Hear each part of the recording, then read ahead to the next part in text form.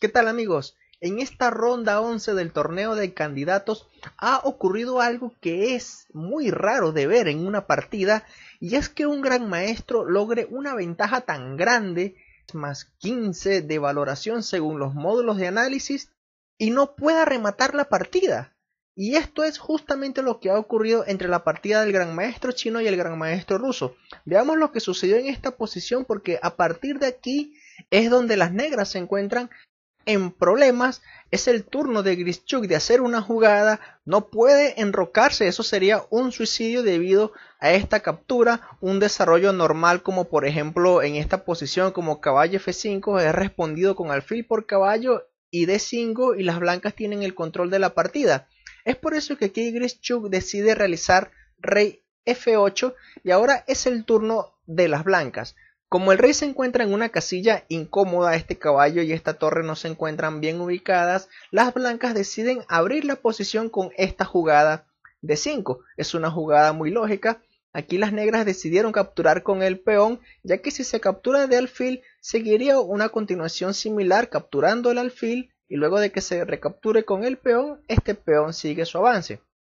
Grischu captura con el peón y luego de E6 capturan en E6. Y ahora empiezan las piezas blancas a entrar en terreno enemigo. Caballo G5 y antes de continuar con la partida veamos algunas opciones. Grischuk respondió con la jugada dama de 7 defendiendo el peón. Uno puede pensar, bueno, pero ¿qué hay de malo con capturar de inmediato el caballo? Lo que sucede es que luego de alfil por alfil, de repente esta torre ya no puede defender este punto porque las blancas tienen dos fuertes continuaciones.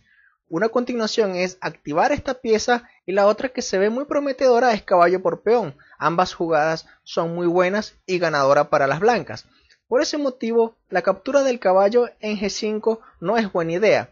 Otra opción sería defender el punto E6 con la jugada alfil C8, pero en este caso las blancas obtienen nuevamente buena ventaja con la jugada dama F3, ya que luego de rey G8 y alfil F4 las negras tienen una posición muy incómoda. Ni siquiera se puede pensar en realizar la jugada alfil de 6 por el sacrificio caballo por peón. Es muy fuerte, de hecho. Y una retirada de la dama como dama B7 permite a las blancas capturar simplemente en E6 y la posición negra colapsa. Es por eso que luego de caballo G5 las negras decidieron realizar dama de 7 y bien, la partida continúa, el gran maestro chino hace la mejor jugada en la posición. Alfil G6, Grischuk respondió con alfil F6 y ahora Ding Liren continúa con esta lógica jugada. Alfil B6 no solo ataca la torre sino que ahora las piezas de mayor peso entran a la acción. Pero ya va, no se está ofreciendo el cambio de esta torre por dos piezas, porque aquí las negras pudiesen continuar con alfil por caballo y luego de alfil por torre el alfil en G5 retrocede para capturar en D8. ¿Por qué Grischuk no ha capturado el caballo de inmediato? Vamos a ver esta variante antes de continuar la partida porque si se hubiese jugado alfil por caballo, luego de alfil por torre y alfil por alfil, las blancas simplemente capturan en E6 y las negras van a tener problemas en defender la octava fila porque una jugada bloqueadora como alfil e7 es respondida con boom, torre por peón, una fuerte jugada que se amenaza directamente torre de 8 para entrar con la otra torre, así que tras la captura de esa torre, tras caballo por alfil, de repente ese alfil se va a perder seguido de mate. Una idea, por ejemplo, aquí de realizar caballo F7, luego de torre por alfil, el caballo está atacado y se amenaza a entrar en la octava fila. Las blancas ganan de manera lineal. Es por eso que aquí la captura en G5 no es posible. Grischuk colocó la torre en la casilla C8 y ahora las blancas vienen con caballo por peón jaque, rey G8, una fea posición para Grischuk. Y es el momento, amigos, en donde al gran maestro chino se le presenta la oportunidad de oro de rematar la partida con una jugada brillante, aprovechándose de la debilidad de la octava fila. Y la jugada es un bloqueo táctico. La jugada ganadora en esta posición es realizar caballo de 8. Una jugada increíble, impresionante. Ya vemos que la jugada alfil por caballo no es posible por la entrada de la dama seguido de mate.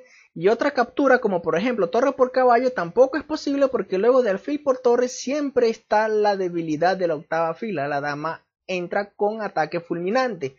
Caballo D8 es la jugada en esta posición y el gran maestro chino no la ve. Una jugada, amigos, que es la primera opción que se te viene a la mente cuando ves este tipo de posición.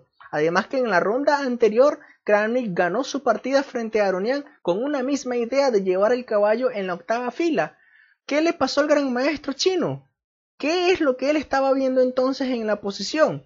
No hizo caballo de 8, sino que en vez de eso capturó el peón en D5 y siguen ideas peligrosas en esta posición. Grischuk capturó el alfil y nuevamente se presenta la misma oportunidad de rematar la partida con esta jugada, pero el gran maestro chino no la ve, no ve a ese caballo yéndose a la octava fila, tampoco ve otra jugada ganadora de inmediato que es boom, torre por alfil. No, no la ve, sino que en vez de eso juega caballo F4. Amigos, la jugada torre por alfil gana de inmediato porque luego de dama por torre, ¿qué viene? Adivinen qué viene.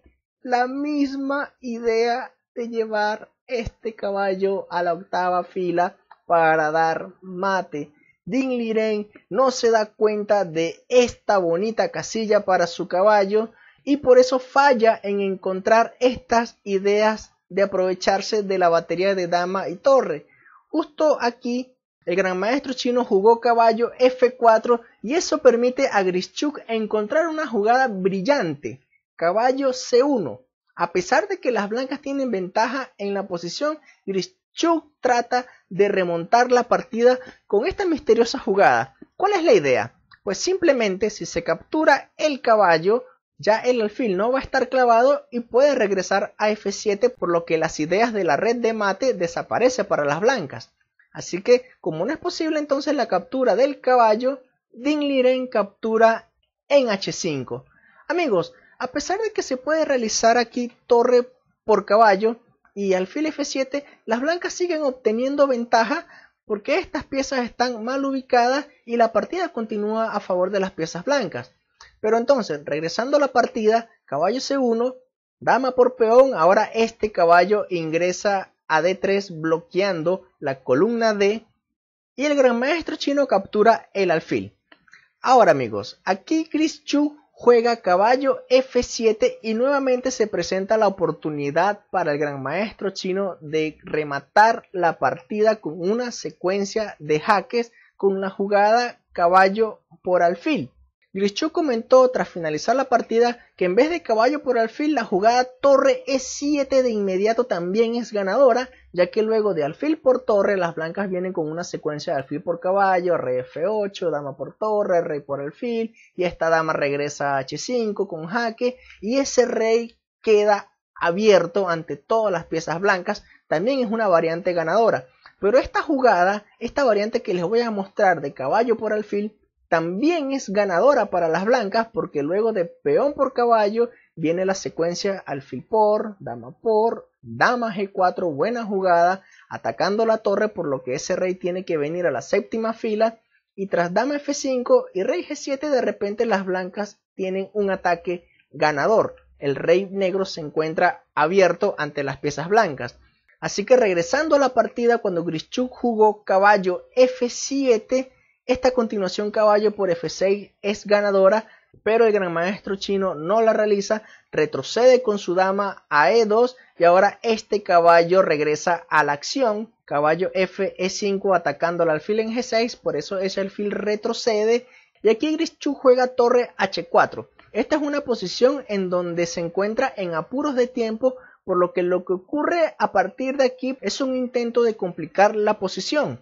F4 juega el gran maestro chino y Grischuk decide entregar la calidad, torre por peón, pero se va a llevar la sorpresa de que luego de caballo por torre y caballo por caballo, aunque ambas damas están atacadas, el gran maestro chino encuentra esta sorprendente jugada, boom, alfil H7, aprovechándose de que ese alfil es intocable porque las blancas vienen con esta jugada intermedia jaque seguido de torre por dama. Es por ese motivo que ese rey tiene que ir a la casilla H8 y luego de dama e4 hay dos piezas atacadas, pero todavía Grischuk encuentra recursos en la posición, Dama C6 aprovechándose de que este alfil está indefenso, así que el alfil regresa, estamos en la jugada 38, Grischuk realiza aquí caballo por peón, una jugada interesante aprovechándose de que luego de peón por caballo existe caballo F3 seguido de caballo por alfil, por ese motivo Ding Liren jugó aquí rey H2 y el caballo retrocede a G5, realizando un doble ataque, es por ese motivo que la jugada 40 es el cambio de damas dama por dama, torre por dama. Ya pasado amigos el control de tiempo, llegamos a esta posición en donde Grischuk sobrevivió. Tuvieron que pasar 56 jugadas más para que Grischuk salvara el medio punto. No voy a dar más detalles de la partida porque ha sido muy largas, solo quise mostrarles el momento crítico justo aquí en donde el gran maestro chino tuvo su oportunidad de oro de crear una partida inmortal, una partida para la historia que sería recordado en un evento de torneos de candidatos. Caballo de 8, lamentablemente no la vio, hubiese sido memorable esta partida, probablemente él se esté preguntando por qué no la hice, porque todos la vieron menos él. Pero bueno amigos, este es el torneo de candidatos, han pasado 11 rondas, imagínense el cansancio que deben tener ellos, el estrés, todas las energías que se han ido desgastando durante todo este torneo y las partidas que faltan. Así que nos estamos viendo en la próxima ronda amigos, cuídense.